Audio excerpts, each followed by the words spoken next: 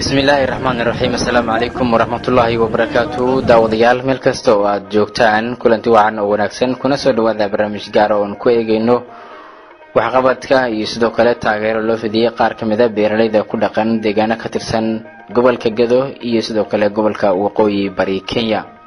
Barnaamijkan waxaan la socodsiin doonaa anigoo ah maxamed qani xuseen kuusow hay'adda nabaad oo hay'ad maxalli ah ayaa deeq kaalmo ah gaarsiisay qaar ka mid ah beeralayda ku dhaqan deegaano hoos yimaada degmooyinka baled xaawo iyo doolow soomaaliya ee gobolka gedo kuwaasi oo ay ka mid yihiin uunsi surguduud qurdubay dhuusay iyo deegaano kale oo ay ka mid yihiin dhamasa soomaaliya iyo geedweyne.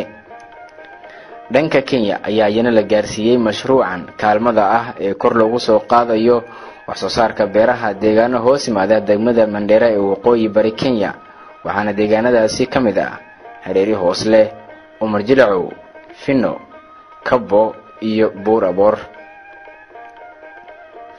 mashruucan ayaa waxaa barbar soconayay ilaa laba boqol oo dumar ganacsato ah oo la gaarsiiyey iyana lacag caddaan ah oo kaasha taasi oo loogu talagalay inay iyana kor u soo qaadaan ganacsigooda waxaana boqol ka mida la siiyey dhanka soomaaliya halka dhanka kalena la siiyey boqol ee kenya. Waxaana qofkiiba uu qaadanayaa lacag dhan shan boqol oo dollar oo loogu talagalay inay iyana ku sameeyaan waxyaabo ganacsi ah oo ay kor noloshooda ugu soo qaadi karaan. Intaasi oo keliya kuma koobna mashruuca hay'adda nabaad ay siisay dadka beera qodotada ah ee ku dhaqan deegaanadan hoos yimaada degmooyinka aan ka tilmaamay gobolkan gado iyo sidoo kale dhanka kenya ee mashruuca taageerada ah ayaa waxaa ka faa'iidaystay beeralayda kenya iyo soomaalida ee ku sugan waxaana agabyada la siiyey ka mid ahaa amaba ay guud ahaan dhammaayeen afartan motoor oo hindi ah. Waxaana halkii iskaashata beeralayba ay leedahay hal motoor iyadoo sidoo kalena la siiyey guud ahaan deegaanadan siddeed kun oo liitar oo shidaal ah. Waxaana halkii iskaashata beeraley ay leeyihiin laba boqol oo liitar oo shidaal ah iyo hal motoor afar kun iyo siddeed boqol oo keji oo abuurka galeyda ah. Waxaa halkii kaashato ay leedahay iyana boqol iyo labaatan geley ah oo abuur ah. Saddex kun iyo lix boqol oo keji oo iyana abuur digir ah. Waxaa halkii iskaashato ay leedahay iyana sagaashan kiilo oo digir ah oo abuur ah iyo sidoo kale hal motor agabkii la siiyey iyo labada boqol ee shidaalka ah. Sidoo kale mashruucan taageerada ee nabaad gaarsiisay beeralayda ayaa wexlinayay ilaa lix motoor oo ceelbiyooda kuwaasi oo la gaarsiiyey iyana deegaanadan aana tilmaamanay. Qaar ka mid a waxaana iyana wehelinayaa laba kun iyo afar boqol oo liitar oo ay wehelinayaan qalabka sbeer baartiska oo lagu dayactiro motoorada intaasi oo keliya kuma koobna ee waxaa iyana la siinayaa dadka ayaguna ku dhaqan deegaanadan ee beeralayda ah. Laba kun iyo siddeed boqol oo cawska loo yaqaano suudaan garaaska ah kaasi oo abuurkiisana la siinaya halkii iskaashatay beeralayba toddobaatan kiilo oo suudaan garaas ah waxaana uu ahaa mashruucan mid si weyn ay u soo dhoweeyeen dadka beeraqootada ah ee ku dhaqan deegaanada waqooyi bari kenya iyo gobolkan gade ee soomaaliya iyo kenyaba ka wada tirsan. Beeraqootada mashruucan ka faa'iidaystay ayaa sidoo kale waxaa la gaarsiiyey ilaa saddex boqol iyo konton agab shiniyeed sanduuqyo casri ah oo iyana loogu talagalay in ay shinida ku maalaan makiinada lagu daqiiqo malabka shinida iyo dharka lagu maala intaba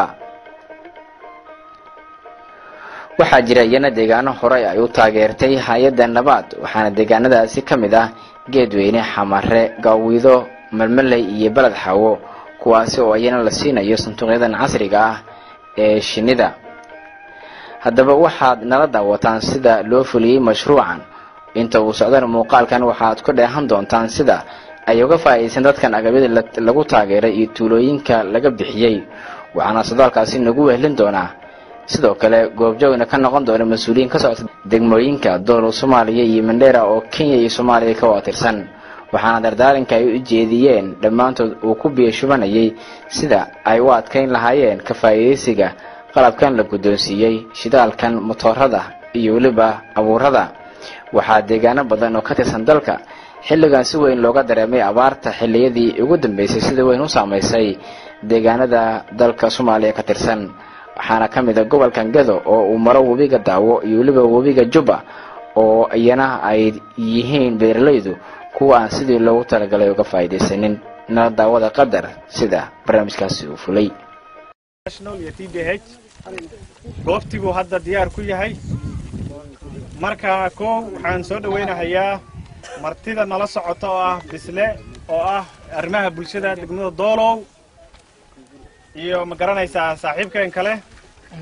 Cumar marka waxaan leeyahay soo dhowaada nala arka ma garanaysaa agabka aan ugu talagalnay siddeed beerood oo midiba ka kooban toban iskaashato. Waxaa weye waa iskaashatooyin waa siddeed iskaashato.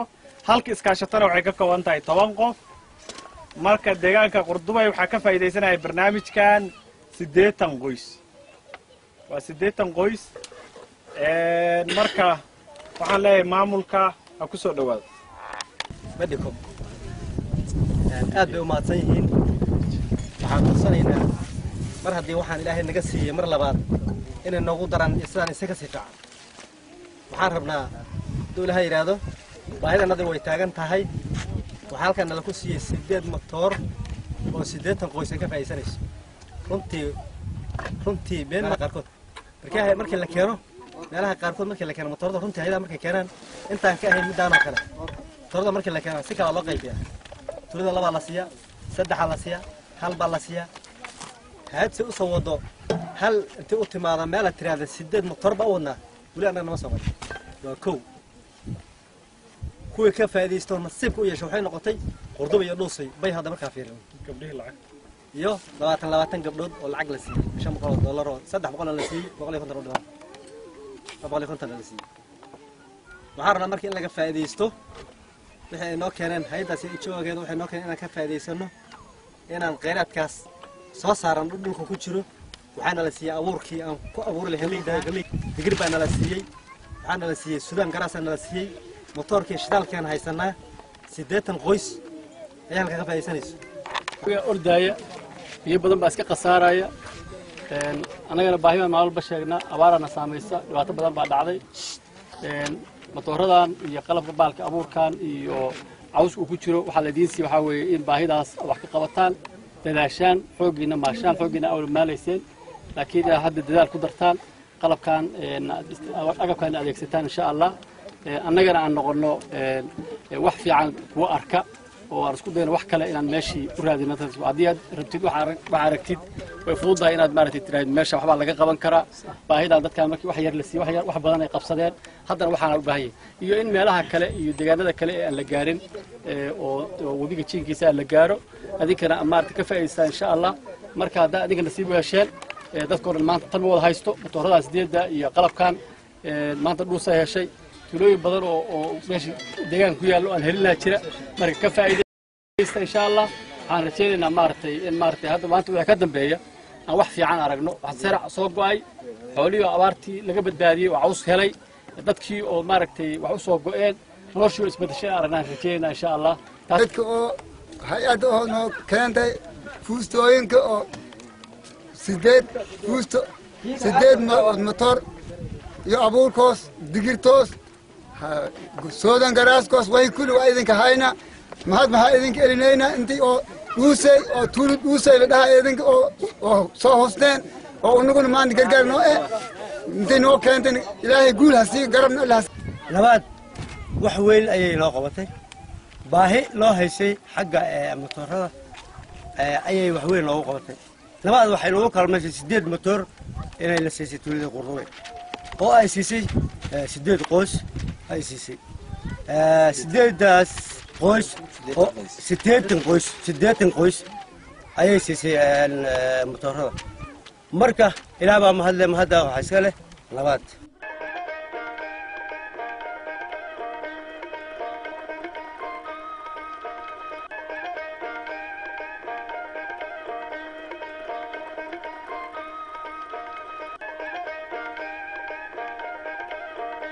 ilaaliyaan ka taxadaraan hanaanka ugu wanaagsan ee agabka meesha yaalloo ka kooban matoor iyo shidaalkiisa iyo abuurkiisa sida ugu wanaagsan inay u isticmaalaan.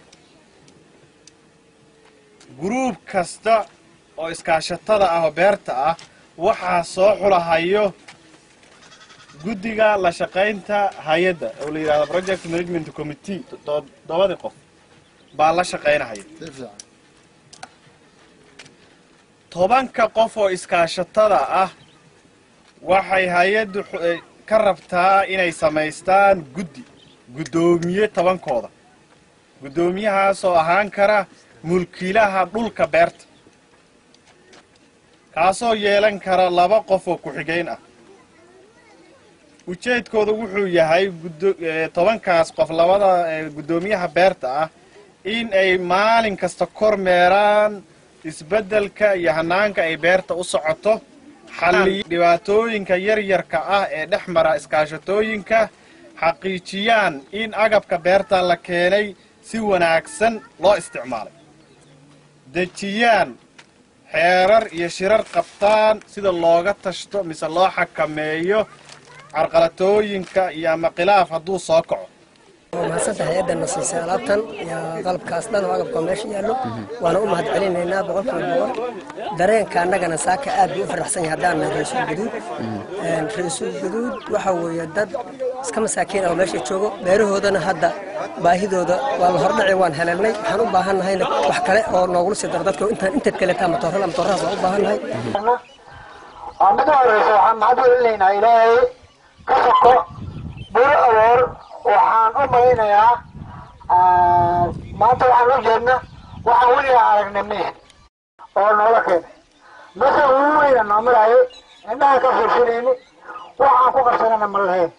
Laakiin hadda soo mihin waxaan baa noola keeni shaqada loo qaban lahayna waa shaqada urigi hadda biyaas bacad loodba shaqa loo qabanayo. Beeriina shaqa looga qabana. Beeraskeena iska madoorlaana jiri waa mahadsan yihiin nabad iyo midda la socdooda caawimaadka ayna siiyeen. Haddayna hadda gooraba maalgelin kalena wayna siiyeen oo ka mid tahay gabdho labaatan leh oo beecmutur leh qaar hoteelo leh qaar dukaamo leh oo la siiyey lacag maalgelin ah oo hadda meesha shaga tagay. Yaa jira bur abaar mahad weyn yaan u celinaynaa nabad. Caawimaadka ay u qabatay borower location. Anaa ku hadlaya magaca maanka mandera amin Bulawar location ambayo kuna wakina mama wamesaidiwa na pesa katika hii kijiji. Alisema kwamba hawa wakina mama wameinuka kushinda wale wengine mbeleni, na vile sasa tunaona mbele yetu, alitaja hiyo project ambaye walikuwa wanangojea kutoka Eva, eh, NAPAT na leo imekuwa siku yao na siku yao ya furaha kabisa. Alitaja hiyo mbegu ambayo amesema leo jioni iende shambani, leo jioni aniga eh, maxamed ibraahim baa lidhahaa Eh, waxaan isla shaqeynaa ward administratorga eh, mar badan ba isaga unaa joogo laakiin aniga qofka ka weyn oo la shaqeynaya maxamed ibraahim subcounty administratorga mandera istanahay Eh, wallahi maanta waa maalin farax leh Eh, waa maalin oo maaragtay dadkii reer burabor haddaa la fiiriya eh, maalin ay xusaan mudan waay. Maxaa yeelay eh, ninkii maaragtay ina tagay lacag qaaday shidaal soo gaday ee, maaragtay abuurkii keenay oo keenay maaragtay ijinkii maaragtay shidaalkii ijinkii iyo shidaalka oo iswata baybtii biyaha soo jiidi lahayd ee, cawskii hataa maaragtay xoolaha loo dhigi lahay waxaan u malaynaa reer burabor sharaf weyn ka mudan yahay. Soo ma? Marka hay'adda nabad ee, hay'adaha ani intaan dowladda countiga soo gelin hay'ad sawda shiril dhaan la shaqayn jiray in badan.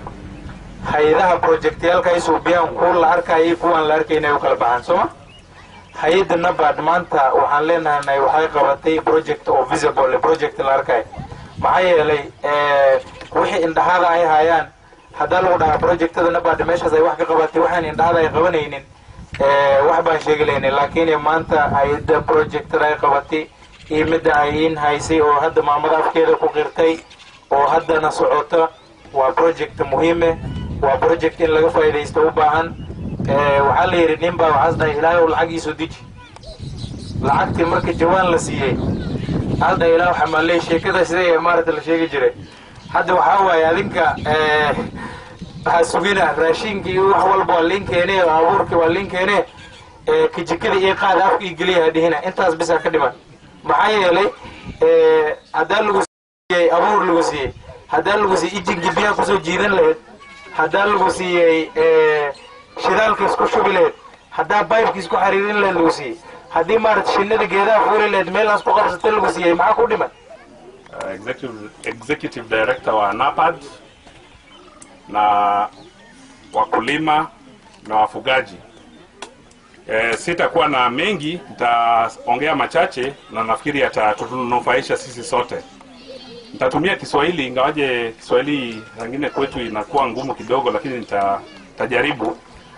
Uh, kwanza ni kurudisha shukurani kwa uh, NAPAD kwa ile kazi mzuri ambayo wameweza kufanya na pia ningependa kusema ya kwamba kabla wajafanya hizi vitu walikuja kwetu kwa ofisi na wakaongea na sisi na tukawaelezea vile vitu ambavyo tunafikiri ni vizuri, na hiyo inaonyesha ya kwamba kuna uhusiano mzuri baina ya NAPAD na ofisi zetu za serikali ama ya kaunti. Uh, na hiyo ni mzuri kwa sababu wakati mwingine kitambo eh, NGOs saa zingine walikuwa tu wanafanya vitu peke yao na sisi kama ofisi tunashtuka tu ya kwamba kitu imefanyika, lakini kwa upande wa NAPAD kile ambacho naweza sema ni kwamba wanatutembelea katika maofisi alafu na tunapanga na kile ambacho tumepanga ndio ninaona wameweza kufanya. Kwa hivyo ni shukurani kubwa kwa sababu hii ni, hii ni vile nakubaliana na executive director, hii ni project ya community. Tusiangalie kama ni NAPAD, lakini tuiangalie kama ni project yetu kwa sababu tusipoiangalia hivyo, kuna ile kwa kimombo tunaita ownership. Unajua, ukiangalia useme ni NAPAD, sasa inakuwa ni kama si yako. Kwa hivyo kile ya kwanza ningependa ni tuangalie tukijua kwamba hii project ni yetu. Eh, wizara ya kilimo ama wizara ya kilimo, mimi niko kwa wizara ya kilimo na irrigation. Eh, nini yetu kubwa ni mambo ya food security ama kuwe na chakula cha kutosha, na hii food security tutapata sisi tukiweza kukuza hii chakula. Huwa eh, kwa upande mwingine huwa sifurahii sana kuenda mahali ambapo tuseme kama director wa agriculture, kwenda mahali ambapo watu wanapewa chakula ya msaada, kwa sababu ina, inaonyesha ni kama sifanyi kazi yangu. Kazi yangu kubwa ama mandate yangu kubwa ni kuhakikisha ya kwamba wananchi wameweza kutoa ile chakula, wameweza kuproduce ile chakula, kwa sababu hiyo ndio njia mojawapo ya kuachieve food security. Kuna njia tofauti tofauti, lakini sisi kama wizara tunataka kuwahimiza nyinyi kama o, wakulima na wafugaji tu... Uh, so, um, uh, Director of Agriculture, uh, Acting Director of Livestock, um, Sub-County Administrator, uh, Livestock Visionary Officer, Ward Administrator, Area Chief, um, ulamas and sheikhs, um, farmers, um, distinguished uh, justice and uh, respected uh, um, uh, members of community.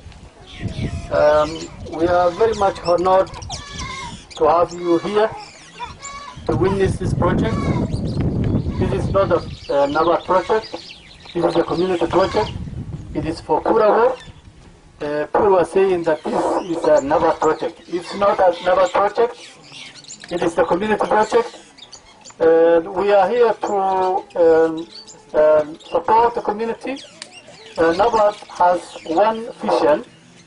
Our vision, uh, by the way, NABAD is a, is a, is a local NGO, um, um, owned and run and managed by locals.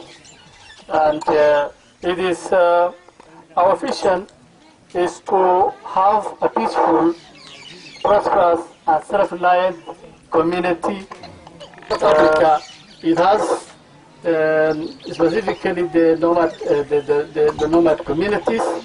Uh, as you can see, the name starts from nomad, and uh, and that is why um, we say it is uh, more of um, uh, trying to empower communities, and this is one of the projects that's designed to help communities stand in, uh, or withstand with the crisis and the shocks of uh, climate change and other and man-made disasters.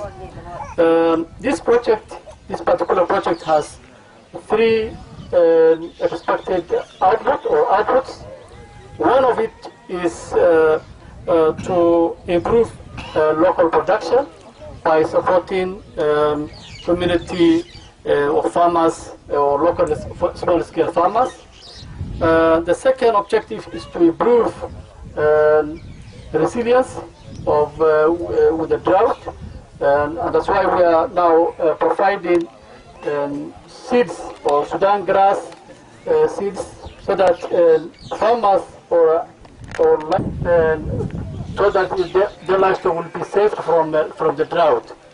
And uh, and the other thing, uh, another output is to uh, enhance diversification of income, and that's why we are providing um, beehives here and uh, uh, the, the, the and, and provision of. Now uh, we are we have here eight groups. Each group will receive one irrigation pump, 120 kg of maize seeds, 90 kg of cow, uh, cowpea seeds, 70 kg of Sudan grass, five uh, pieces of beehives, and one uh, 2,000, I mean, sorry, 200 liters of fuel. This is uh, to support the farmers, improve their, li- their lives livelihood. We expect this uh, project will uh, uh, bear some fruits, and uh, after maybe um, three or four months, we'll see a result. And uh, that result will be something which we all like to see, and we all, you know, get delighted when we get those good results. And I hope, waan la soo cindaaranayna inay suurto gasho. Halkaas kadib waxaan mahadnaqahayaa dadweynaha reer buuraboor hooyooyinka iyo culamaudiinta odayaasha iyo dhammaan bulshada qaybaheeda kala duwan. Intaas ka sokoow waxaan u mahadnaqahayaa ma garanaysaa madaxda maaragta countiga ee ugu sarreeya director of agriculture dhammaantood aad baan ugu faraxsannahay. Maanta inay nagala soo qayb galaan. Xalfaddaana ujeedkeedu ahaa inaan xaqiijinno qowlkii aan ballan qaadnay iyo mashruucii aan inla wadaagnay. Waxaad og tihiin inaan soo dhammaynay tababarradii beeraley inaan tababarnay halkan labaatan iyo afar qof oo siddeeddii cooperative-ka ahayd. Gruub kastoo tobankaa aan saddex qof u tababarnay siddeed lagu dhuftay saddex labaatan iyo afar soo sax maa waxaan kaloo tababarnay gruub kasta u tababarnay motoor hayi. Nimankii motoorka cilladda ka saari lahaa waan u tababarnay gruub labo lix iyo toban qof halkaa laga tababaro sidoo kale sababo la jira dhanka maaragta baaxadda barnaamijkan oo soomaaliya iyo kenya ka socda baan maxaan ku tilaabaynaa til- gabdhihiina waan tababarnay oo labaatankii gabdhoodba waan tababarnay. Maanta roob owgiis iyo maaragta barnaamijkii eh, maaragta alaabtii agabkii shinnida gaadguurta aan ballan qaadnay oo gruubkiiba la siinahayo shan inay goobta taallo iyo matoorkii iyo maaragta abuurkii kabacdina aan u ambaqaadi doono inaan tababarno garanaysaa shinnidii maaragta dadkii ka faa'iidaystayaasha ahaa waxaan xafiiska ugu keedin weyna waxay tahay inuu roobka nagu dhaco ay goobta soo gaari weyso wixii berri ka bilowdo oo u ambaqaadaynaa insha allah anoo warka badinaynin I would like to invite uh, the guest of honor uh, and uh, the rest of the team that we take our walk and see uh, the inputs that we have here such that we hand over together with the community. As our director said, uh, deputy director, that this is a, a community project.